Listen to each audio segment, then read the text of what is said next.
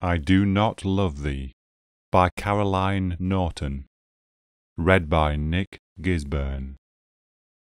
I do not love thee, no, I do not love thee, and yet when thou art absent I am sad, and envy even the bright blue sky above thee, whose quiet stars may see thee and be glad. I do not love thee, yet I know not why, Whate'er thou does seems still well done to me, and often in my solitude I sigh, that those I do love are not more like thee. I do not love thee, yet when thou art gone, I hate the sound, though those who speak be dear, which breaks the lingering echo of the tone thy voice of music leaves upon my ear.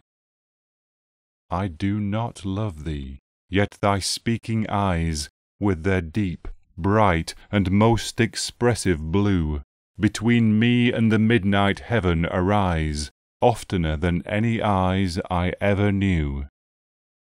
I know I do not love thee, yet alas, others will scarcely trust my candid heart, and oft I catch them smiling as they pass, because they see me gazing where thou art.